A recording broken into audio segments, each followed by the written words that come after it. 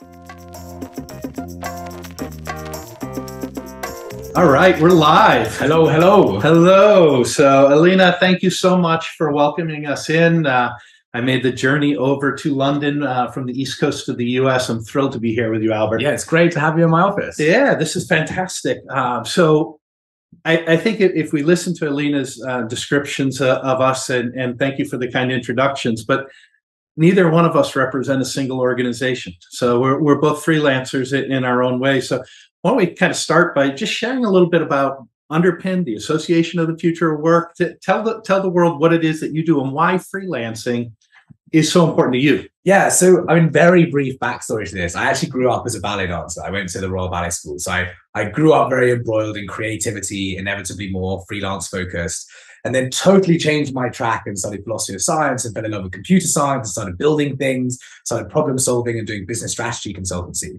But the, the preface to, to really getting involved in, in the freelance world and flexible work world was I ran a media and arts company which helped young and emerging artists build businesses, which is why I love to surround myself with so much art, as well as doing business strategy consultancy to help businesses move into the high growth sector, which was usually about building highly skilled freelance teams to help them get over that hurdle. Okay. And being in this space and seeing kind of opposite ends of the spectrum, highly creative people through to like very technical businesses, all using flexible working and flexible work formats and project based work, I started to get a really good grasp of why it wasn't working, even though so many people were trying to engage with it. And I, I boiled it down to four really key problems that I saw. One was a real lack of education, that people didn't really people didn't learn how to commercialize their skills when they were employed or at university or at school, uh, let alone build a business around their skills. And so people were really struggling to, to build their independent careers, even though they were desperately trying to.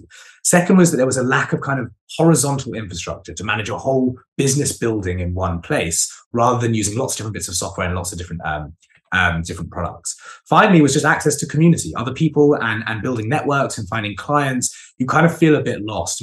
We did this massive piece of research when we started, and what we found was um, the only uniquely um, the uniquely identifying characteristic of a successful freelancer was their network. So even the most most brilliantly skillful freelancers at, at, at, the beginning of their journey were struggling to build a network around what they were doing. And so Underpin was all about facilitating facilitating solutions to those problems in a single platform. And as you rightly pointed out, uh, I don't just do Underpin. The reason for that is Underpin is very focused on helping individuals build successful businesses.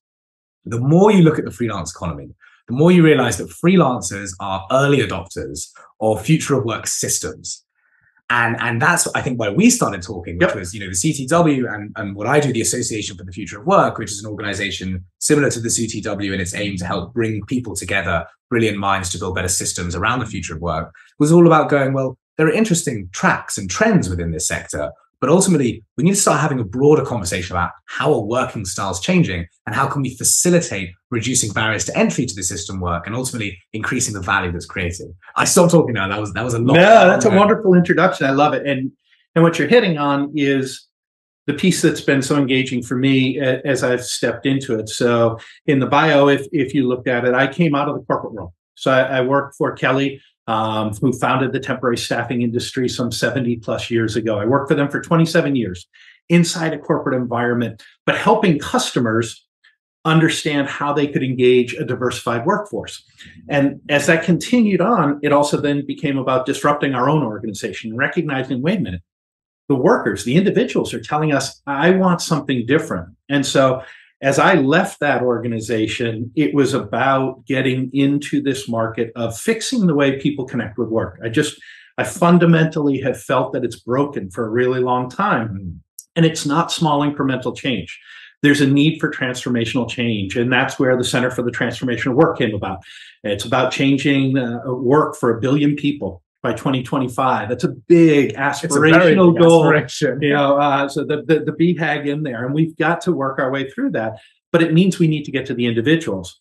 I also tied into the introduction. You may have heard a reference to uh, the World Employment Confederation. So, a group that's focused on public policy and advocating for healthy labor environments. So, we think of we're here in the UK, IR35 is it going to stay? Is it going to go? Where are we with that? You've got regulation happening all over the world. And so, who's out there actively advocating to ensure that people can work the way they want to work? And my sense has always been that we need more people's voices in that.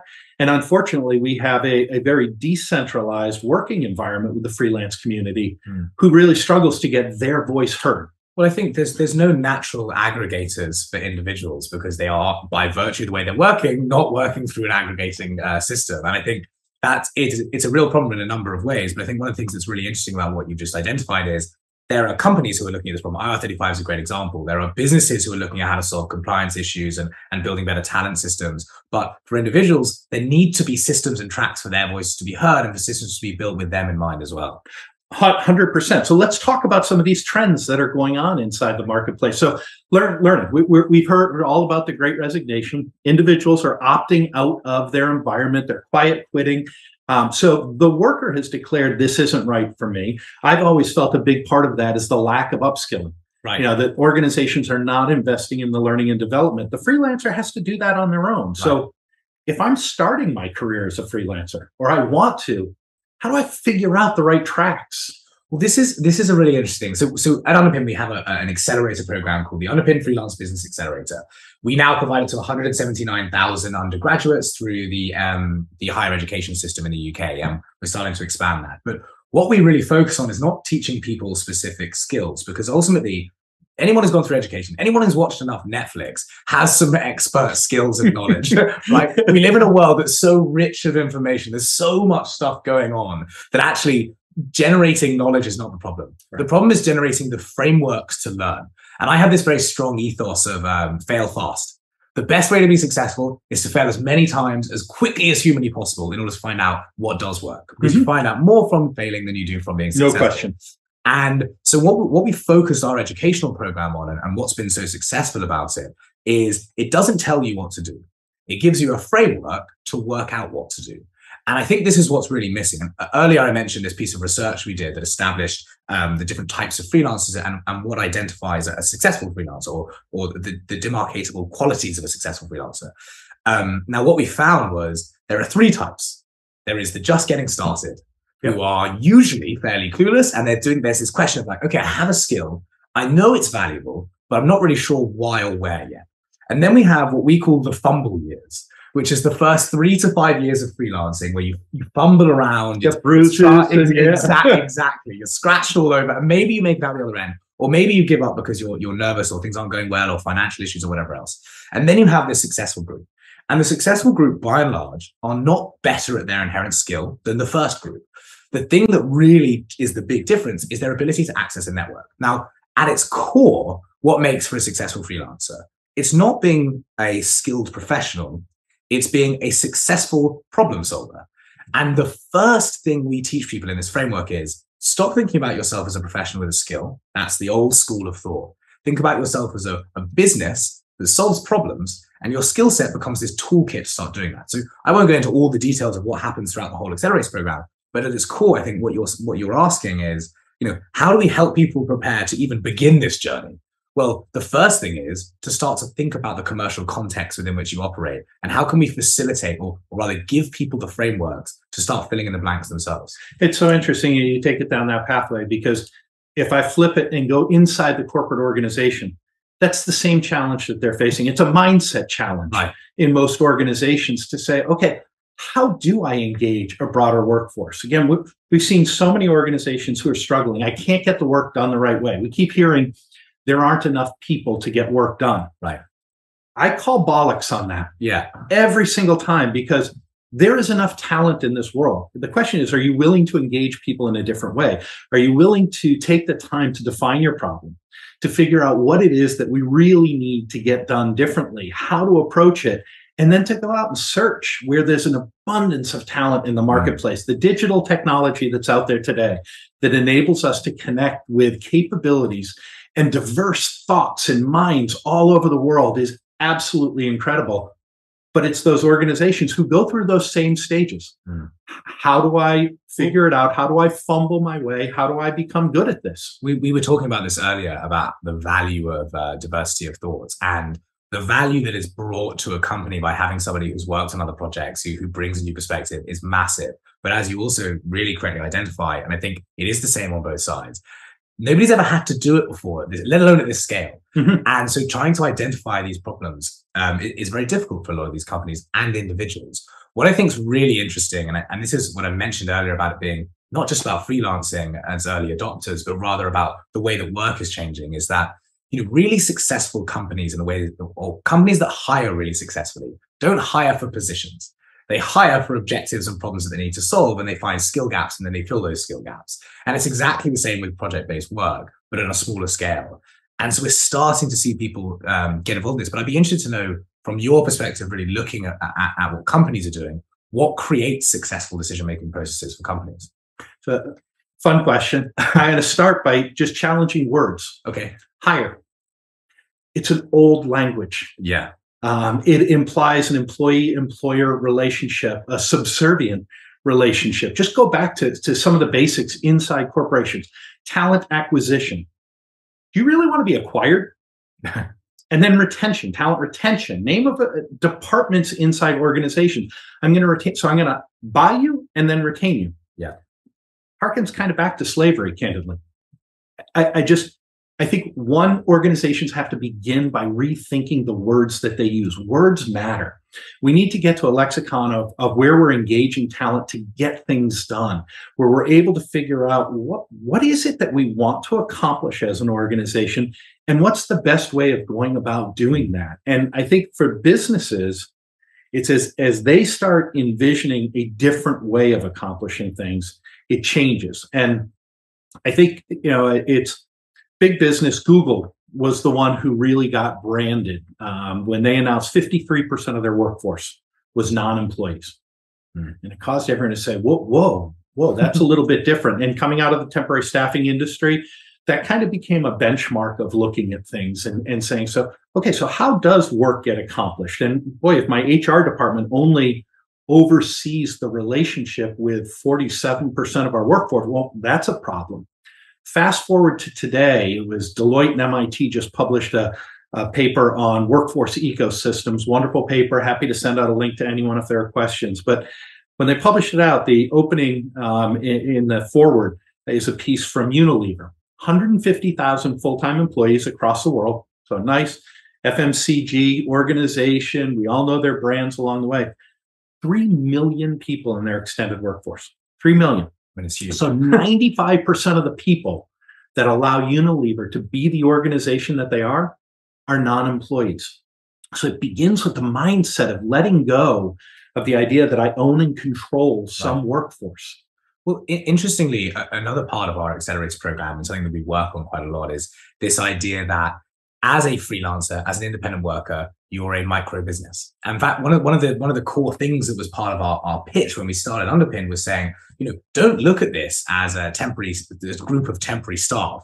Look at this as an army of hyper efficient micro businesses that have almost no overheads, are incredibly easy to drop in and out of, of, of, institutions, can work incredibly hard, be incredibly diverse, be incredibly engaged. And so actually you start to think about them as businesses, but then you bring up this other problem, which you, you, you articulated, which is but the HR departments, the systems set up within businesses go, well, we look after this group and make sure that A, they don't sue us at any point, and B, we're kind of compliant to what we're supposed to be doing. But we're not looking at that group because they're not relevant to us. And on, on the one hand, we want them to function more like businesses, or perhaps rather better to say, they are better off functioning like a small business in the way they interact. And your point about the acquisition and retention of talent if you think about it as rather the negotiation of a project with another work with another with another business is a much more interesting way of looking at it. And we mentioned before this talk started that you hire a freelancer, they're much more likely to challenge your project and, Absolutely. and improve it because they're bringing new perspective and they don't want to work on something that's not going to look good on their portfolio or not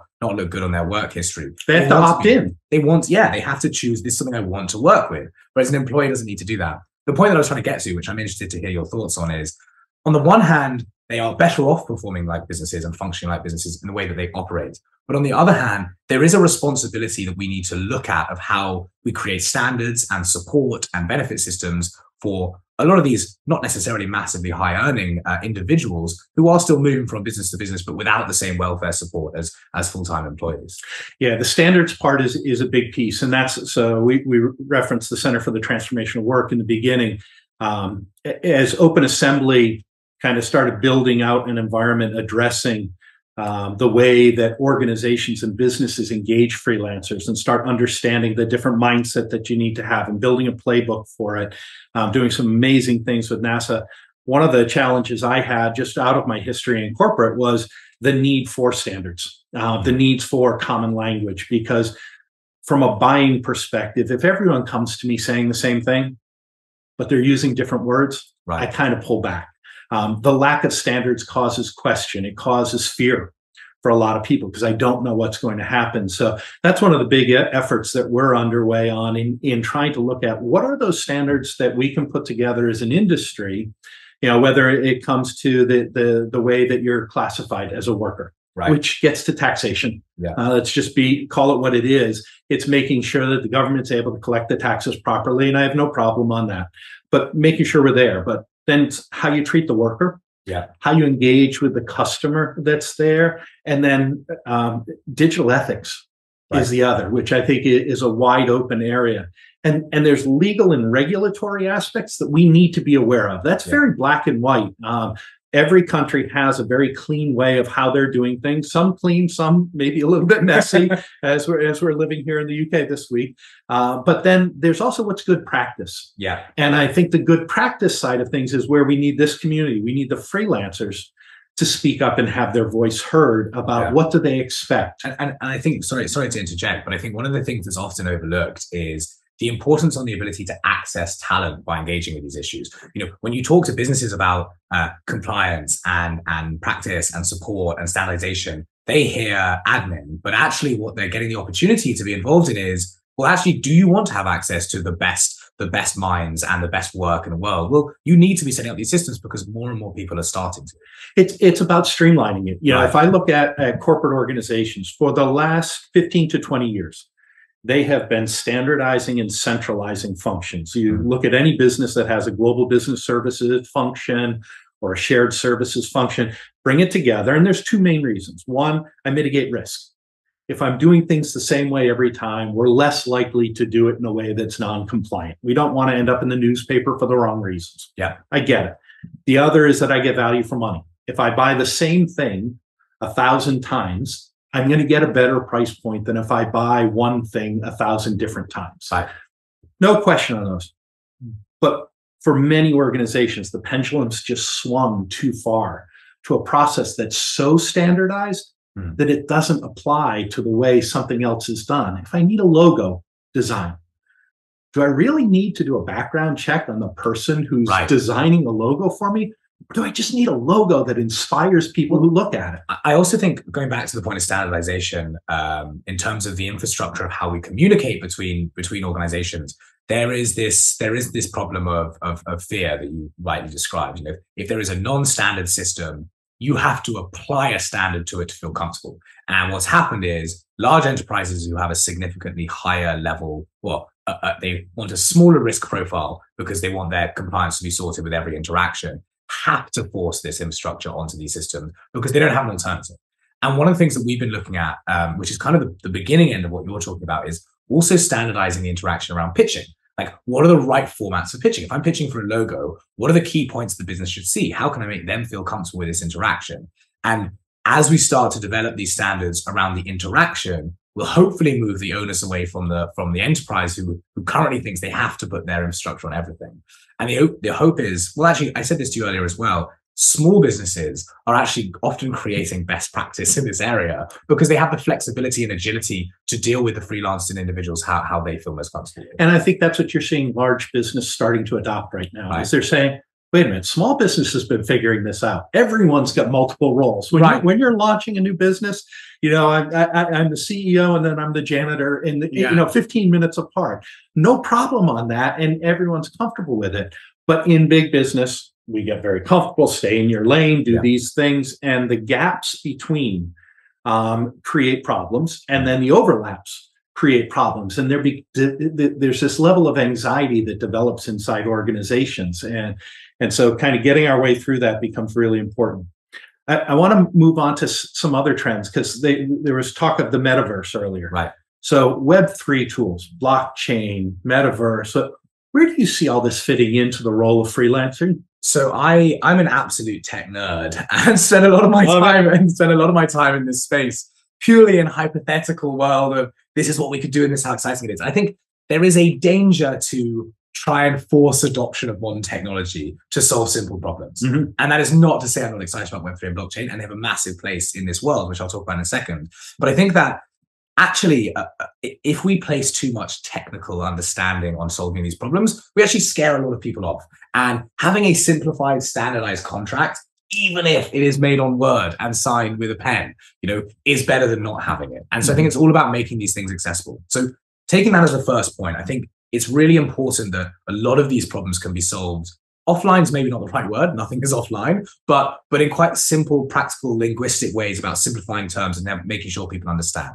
With that said, there are massive cool opportunities around decentralized workforces using Web3 and blockchain technology to track contracts, work history, uh, referencing to make sure that uh, milestones are tracked effectively. I mean, within organizations, everybody will have experienced this in some way. You speak to a project manager and the accounts department and a product lead and, and a junior person, and none of them have talked to each other. And then you want your invoice paid, and the accounts manager has to get information from all of these people to get it signed off.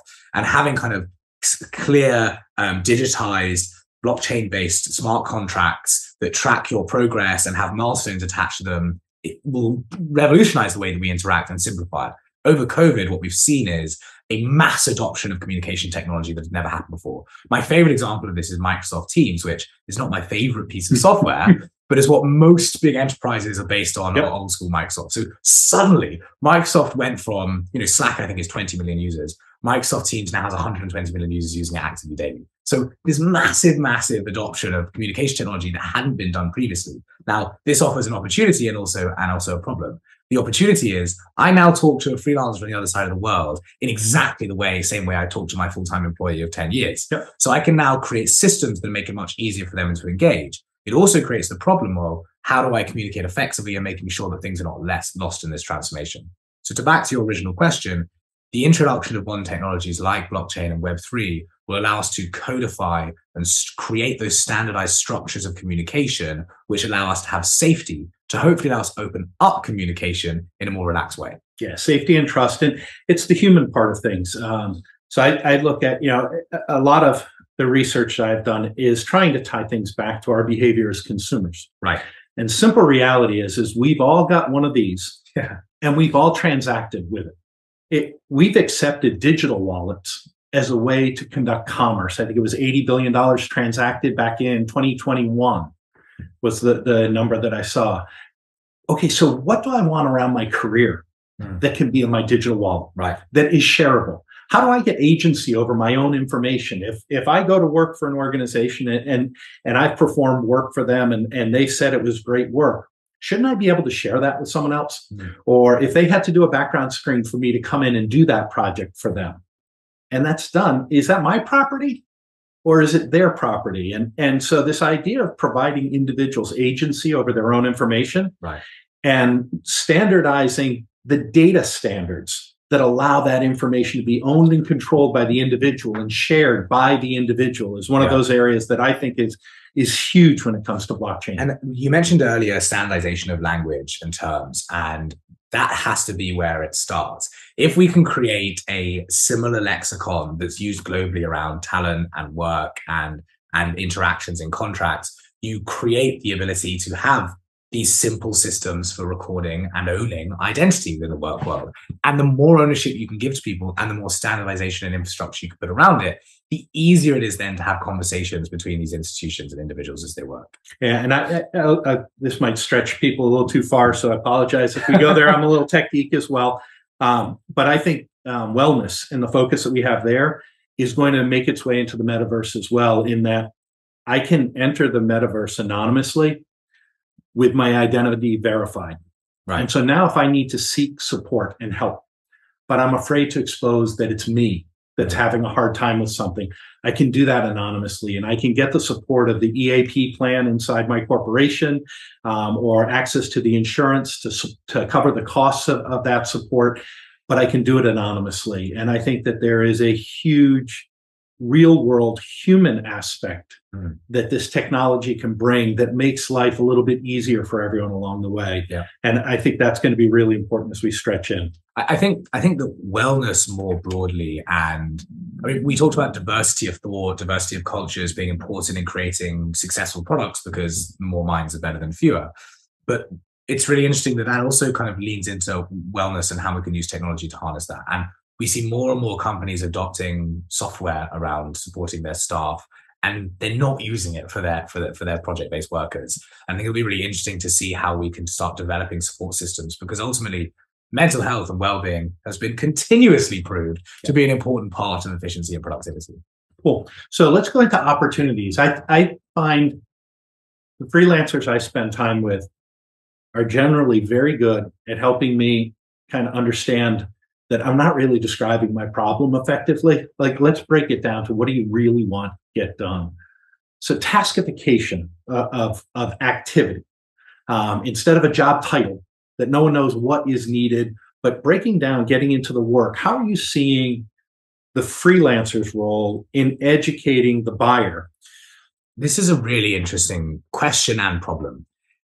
And, and actually, it, it works from from both sides in the exact opposite way. What I mean by that is you need at least one party in an interaction to know what they're doing. right? That's you in this case. Yeah. You rarely see two, but, uh-huh. but, but you need at least one. And, and very rarely is there even one. And what I mean by that is the freelancer needs to come and say, okay, uh, I'm not selling you a logo, right? Actually, logo is a bad example because most companies kind of think they need a logo. But let, you know, talking about a, a, a change to an e-commerce website, whatever it is, the, the, freelancer who comes and says, "Here's the opportunity it opens up for you. Here's the the value of this proposition. Here's how I'm going to achieve it, which is the actual thing. And then here are three milestones of when we'll touch base. Here's what we achieved at each milestone, and here's how we'll converse in between. Right? That's the ideal scenario. At no point have I talked about my skill as a web developer. and and that either you have the individual coming with that perspective, or you have the company who has the savvy to go, well, we need this problem solved. These are the skills. These are the touch points. This is how we do it. So you need at least one party to do that. But what's important about it, and I think this is the really interesting point about the future of work as a whole, is titles are not valuable. and and when you look at startup culture, and we talked about this earlier, the cross-functional team, I very much clean my own office quite regularly. Like mm-hmm. there is there is a massive importance to understanding and identifying objective-based roles rather than roles for the sake of roles. I'm not here to sit down for 10 hours a day and work. I'm here to achieve a specific set of objectives. And if I finish those objectives at three, maybe I'll stop working at three.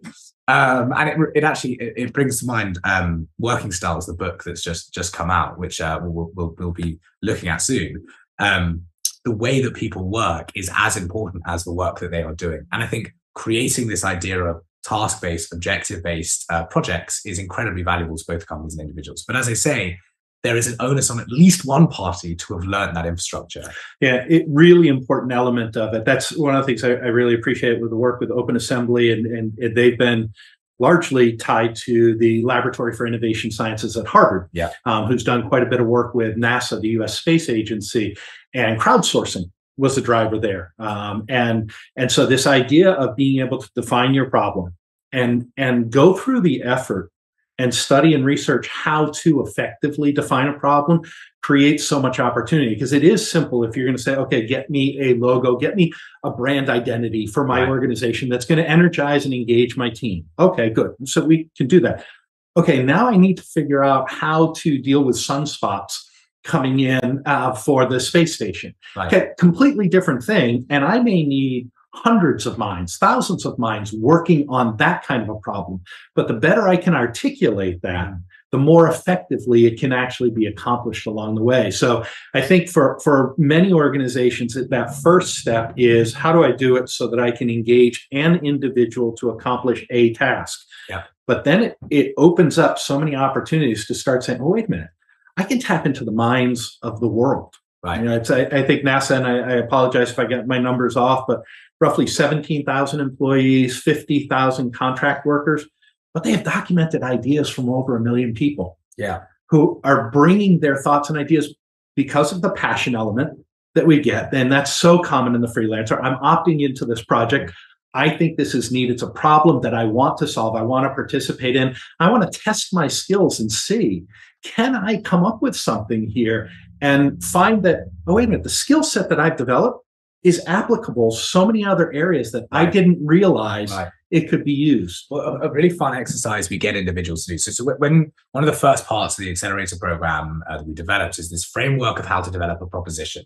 Now, a proposition is ultimately an articulation of a problem you can solve. So we ask them to answer five questions. What do you do? Hopefully, everybody gets that one right. I am a designer. I am a developer. I am an engineer. Whatever it is. What problem do you solve? And that's a list of what types of problems can the skill that I have potentially solve then who can you solve those problems for? And you start to group those problems into specific company narratives and clients that might have those problems that you could solve particularly well. How do you solve it? Start to sew the bits together. Okay, well, I use this skill set to solve this problem for this person in this way. And then finally, why are you the right person to solve it? What is your relevant experience and relevant interest that makes you not only the right person in terms of your skills, but the right person in terms of the fit for the projects and how you work. I, I love it, and and the fun part of this to me, and it, it, I also get very excited by the number of people who are doing side hustles with it. If you're running a large department for an organization, those are the same competencies oh, that you need to have completely. And so, engaging people who have had to do that and broken out of the mold of I'm in a role and a job title, and that's my definition so valuable for the individuals who want to change and transform their own individual organization if you're part of a large company right and i think that's one of the things that that we need to help people get over is you can advocate for freelancers without saying that's the only way people are ever going to work there are going to be plenty of people who want to be an employee of a large organization. I have no problem with that. Mm-hmm. That's fine. Uh, there are going to be plenty of people who want to do work physically on site in a certain location. There are going to be people who want to start their own business and build it into a giant business fine. But let's adopt and engage this population that wants to work in a freelance capacity. I also think that it, it, right now we're very good at describing different types of businesses in different ways and mm-hmm. different types of workers in different ways. And the more I spend time in this space and the more people I interact with, the more I come across the fact that actually the, the, the key characteristics, the key principles upon which a massive business is built and a single person operation is built are very, very similar. And actually, it's just this kind of slider of flexibility in terms of we need to set objectives, we need to understand the problems that we're solving, and we need to create the right infrastructure to solve those problems. Sometimes those problems are small and need a small number of people. Sometimes those problems are big and need a big number of people. Mm-hmm. And I think the less you approach it as like us and them, and more of like we're all in the business of solving problems, and we need to work out the right infrastructure around that. Yeah, and and just the freedom to have the conversation. Mm-hmm. So so if you go through that, why is it so hard for organizations to try to, to just break the mold from, well, this is the way that we've always done things? Well, what is it? We know structurally that there's almost a corporate immune system, if you will, that, that says, no, no, no, you have to do it according to the, the, the, the process that we set up. But why do people resist a, doing things a different way? There's a real problem of confidence, I think, individual confidence. You know, even, managers within large businesses who are very successful and they're, they're doing very well at their job and they're achieving their KPIs or whatever it is, there is a there is a confidence required to have a more relaxed interaction with someone. And there is an entrepreneurial whenever we talk about entrepreneurs or the entrepreneurial mindset what we're talking about is problem solvers who go out and do it. And actually i think we massively uh, we, we use this grandiose terminology and we make it sound amazing and that's also what really good janitors do. Yeah. It's also what anyone who's doing well at their job does that process of problem solving. And I think that when we look at individuals entering the freelance world, almost none of them, in fact, I would go as far as to say not a single person when they start thinks of themselves as this problem solving business.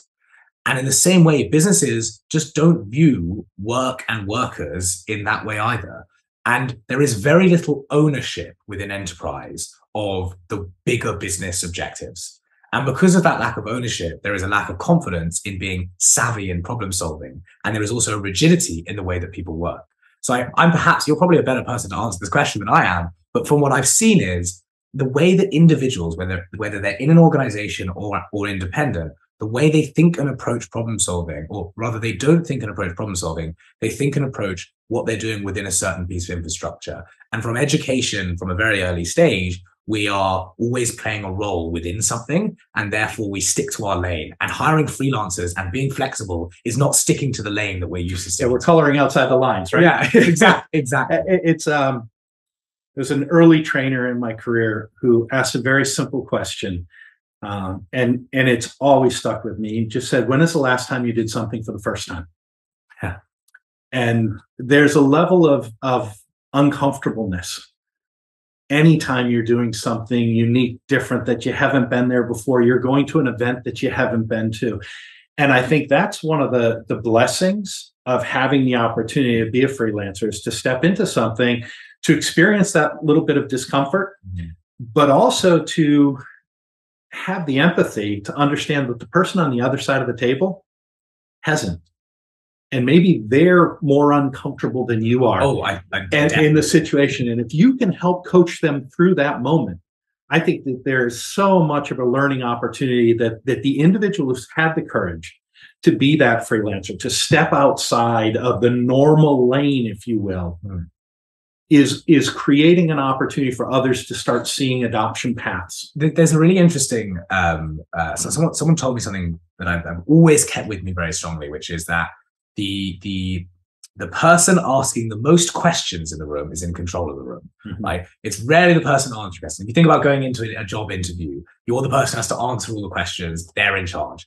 When you come in as a freelancer and you ask them questions that are all designed to go, let's get to the point where you're comfortable, you're much more likely to be successful in that interaction because you're in control of it and they get to relax and feel comfortable. And I think what you're what you're saying is exactly right. The vast majority of people haven't painted outside of the lines yet.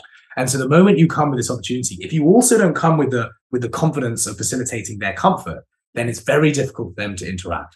I, th- I, think you're hitting a beautiful point and one that I would encourage everyone in the audience to think about as they're interacting with those organizations that they're trying to generate business from is are are you finding yourself in a position where you're just telling or are you finding yourself in a position where you're asking questions and i think you'll absolutely recognize the more often you're the one asking the questions that the more likely you get to an outcome that right. everyone is happy with not just you yeah. but the client is very happy with what they're getting because you've uncovered the right things i think too many people I, I, encounter are feeling like they're having to tell people what to do versus pausing to, to reframe it and say, okay, clearly there's there's a, a missing understanding.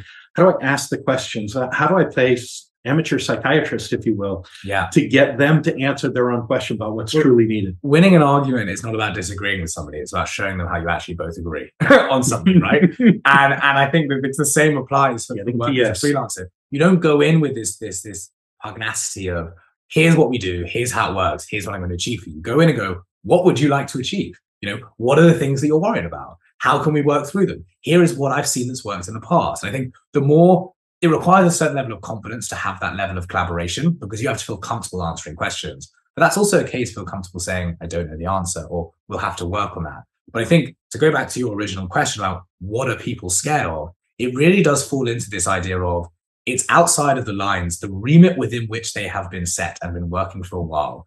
And unless somebody comes with those questions and comfort and confidence, it's very difficult to surmount that hurdle. It seems risky, even if it might actually be significantly less risky.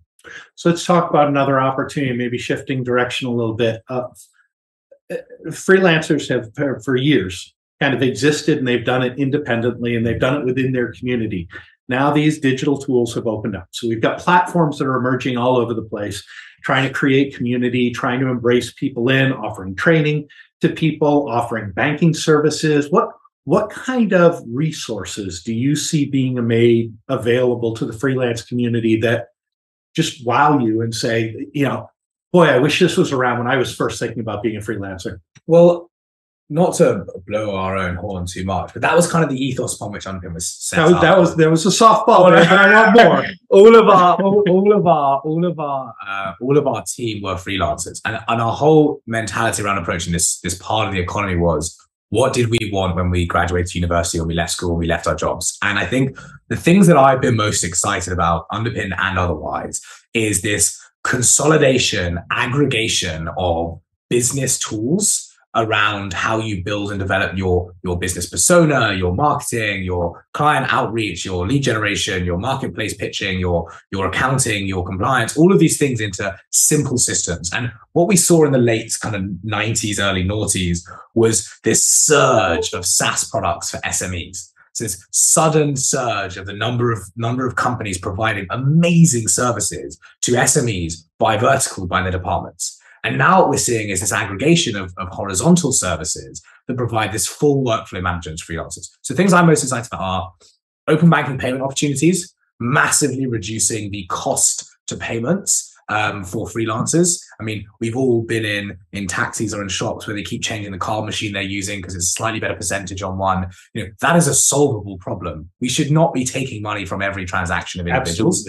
Um, two, is the movement from um, transactional recruitment to service based um, products. In other words, within a project based economy, you don't want to be constantly churning through transactions. You want to be setting up systems where companies can have benches of talent and, and organizations they work with, and individuals can have networks of companies and clients that they work with.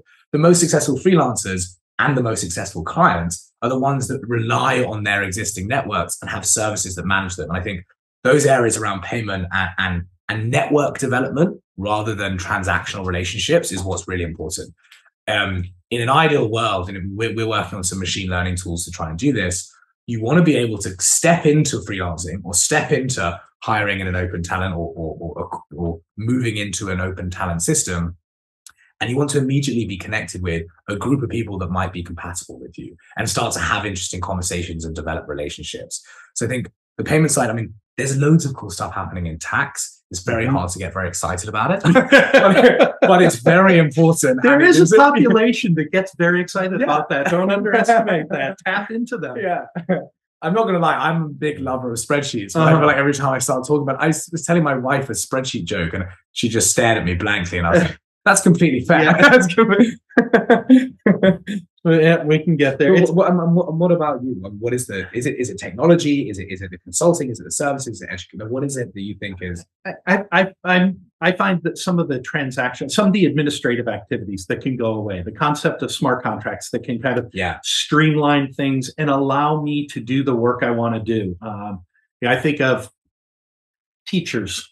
If you talk to them, the ones who are leaving the profession, it's because they don't get to teach anymore. Right. They have all this administration.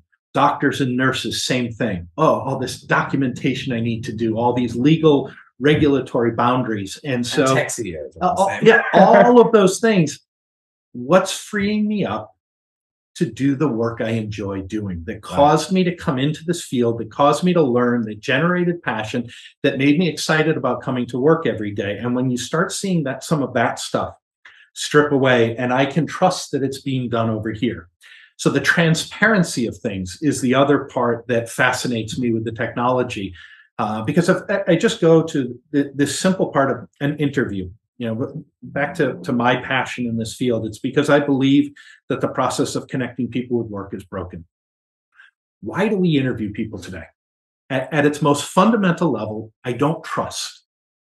I you know here's what i need to accomplish. You told me you can accomplish it but now i need to ask you 30 questions i need to have someone go do a background check i need to do references i need to check that you went to university i need i need to take about two weeks of time to go through a process to learn to accept that you're honest with me. Right. And I think that's where we have the fundamental flaw. And we can start breaking that down. You talked about networks earlier. And when someone says, Hey, John, work with Albert, trust him. Right.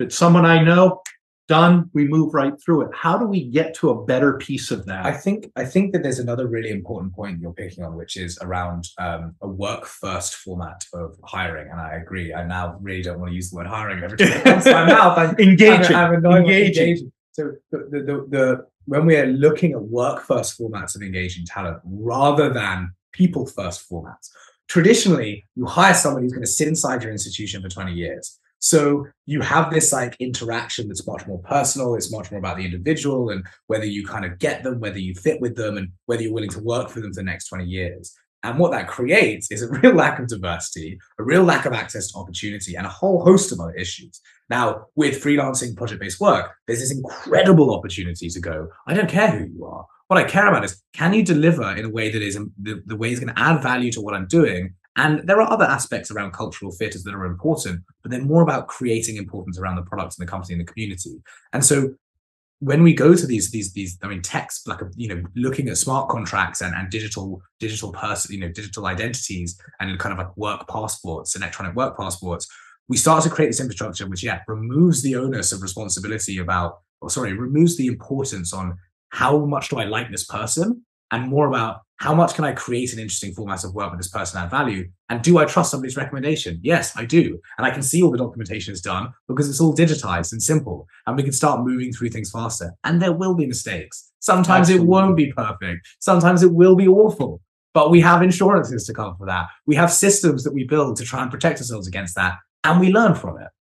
It's it's it's fun. All right, so we're coming up on about five minutes left that we've got. So let's talk about just some priorities, things that are going on in the market today at whether it's a local scale or it's a global scale that we need people to be aware of and engage into. You know, the people who are going to reach out to you after this event who say, Albert, I need to talk to you about how do I get involved with? What are the things that they should really be focused on that are happening in the here and now? So, broad, broad spectrum topic wise, the three things that I'm most interested in are education, infrastructure, policy. How do we create better systems for education to teach people how to commercialize their skills and build businesses around their craft, and businesses to identify the problems they want to solve and how they might engage with open talent? Number two is infrastructure. How do we actually create the systems that facilitate these interactions while allowing individuals and businesses to focus on the fun bits? Exactly what you were describing. And three is policy, and more broadly, kind of political infrastructure, which is how can we create a understanding and knowledge of what is going on inside of this economy? You know, when you talk to a lot of politicians, they're not particularly aware of what's going on inside yeah. this economy. How do we create that knowledge and awareness and then turn it into practical evidence-based frameworks to reduce the barriers to facilitating project-based work, which absolutely we have the information. And in terms of specific ways that you can get involved, please do reach out, you know, go to the uh, Association for the Future of Work's website and sign up. Check out Underpin if you're a freelancer. But I think what I'm really interested in now is aggregating as many people as possible to be part of this conversation and platforming it to the right people. So sign up to the Association for the Future of Work. You'll be able to join our new community platform soon um, and, and reach out to, me directly. Yeah, and I think the standards that you've created and kind of the, the, the commitment to the freelancer um, and the language around how I engage freelancers and, and what's there has been very, very impressive to me as we go through it. Thank you. Um, I'd flip back and, and encourage everyone um, Center for the Transformation of Work or transformationofwork.org. We bring a community together on the first and the third Thursday of every month for an hour. Um, ranges from 40 people to 200 people. One of the things that I love is that we have this beautiful community of people who are just honest with each other. Mm-hmm. Who just talk about the, the challenges that they're experiencing, who share the research that they're working on. Uh, we had a great conversation about unpaid work thoughts around that, getting people to, to go and the and the research from 10,000 freelancers, right. um, which is so important. We need the individual voice to be part of that. So I encourage that. But I also, you know, you, you said policy. I'll take it up a level. There's a meeting coming up uh, mid October, the 10th to the 14th, uh, the ILO, the International Labor Organization. So the trade association for all of the trade unions that exist out there their focus, it, I, look at it, it's, it's decent work in the platform economy. I've got a, a, a nice 72 page document that tells us all the research that they've done, and they've got this nice tripartite um, group that's coming together. So people representing businesses, people representing governments, and people representing trade unions who are going to have this active debate on what should we do about the freelance economy. Right. And the only voice that's not in the room freelancers. is the freelancer. And I think this is this is a common occurrence in, in this space. You have the institutions that we need to help change don't traditionally involve themselves with the people that they're trying to make changes for. And I think the same for, for government and also enterprises as well is, is the importance on hearing the voice of freelancers and the freelance economy is, is massive. And I think that, you know, if I take what Alina's doing, if I take what you're doing with the Association of Future Work, if I take what we're doing with the Center for the Transformation of Work, it is, it's about aggregating community. Yeah. So that we can have a voice that's out there. Because if you go out to the market. If I'm uh, a, an editor of, a, of an online publication of a, any media outlet, and I say I want to hear the voice of the freelancer, I want to hear what is going on and the way people are engaging open talent. Where is that town square that I come to to get the information to aggregate things together? Yeah. And I think there's so much opportunity to be addressed there. So. I just want to thank you first for hosting me. This is uh, for those out there, this facility is as wonderful um, as it appears on the screen. Albert, you are an incredible person. I uh, your passion for bringing value into this market, for engaging people to be who they want to be, um, and to bring value into the market is exactly what we need in the world. And uh, I thank you for the time today. Thank you. Thank you so much for being um, being here and having this conversation. I feel like I've followed John for a while and worked with the CTW and fanboyed from a distance. Um, and then we finally got to chat and I was so excited. I basically just shouted at him for half an hour. These are all the things that I'm excited about and doing. And then slowly but surely had to wind back and work out different bits and bobs that we could actually work through. And I'm really excited to see the work of the CTW and, and, and how how that moves forward, as well as uh, how we work together with the Association for the Future yeah. of Work. And we have an event this week on the 6th that John will be at and helping Excited present some of the work on standards, which is really exciting. And it's really, really great to be a part of this event and to be able to talk on this platform to so many people about such important issues that are moving forward so quickly. Yeah, Alina, um, thank you. Uh, Alex, thank you. Um, back to you guys. Look forward to hearing more. well, thank you so much, John Albert. This was so insightful in fact, you have brought so many points that will be raised also throughout the month. We have sessions on inclusivity, on compliance, on uh, free work, and many, many more. Uh, please do check the program, book the sessions you like, and please attend. Um, I do have a small question, though, uh, something that was bothering me for, for a long time. Uh, you spoke about standardization. So the question to, to you is, how about the terminology? freelancers are called gig workers, contingency workforce, whatever they're called. Will there be like one uh, one word that would describe us all in a in a normal sense? Yeah, I, will give you where we're coming with it. So, um, Open Assembly, John Winsor, who's the founder of the organization, is working on a book um, through Harvard Business Press right now.